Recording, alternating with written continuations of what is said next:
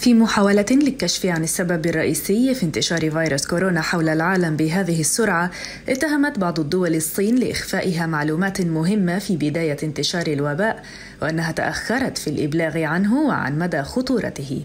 وفي مقابلة صحفية مع فاينانشال تايمز قال الرئيس الفرنسي إيمانويل ماكرون إن الصين لديها فجوات في إدارة أزمة كورونا وهناك أشياء حدثت ولا نعرفها مضيفا أن البلاد التي تضمن حرية المعلومات والتعبير تكون إدارة الأزمة فيها أكثر شفافية وتخضع للنقاش.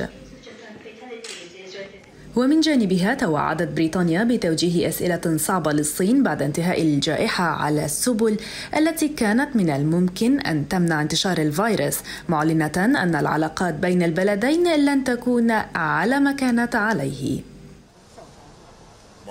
وفي وقت سابق. قال وزير الخارجية الأمريكي مايك بومبيو إن الدول الأعضاء في مجموعة السبع تدرك أن الصين مارست حملة تضليل متعمدة فيما يتصل بكورونا.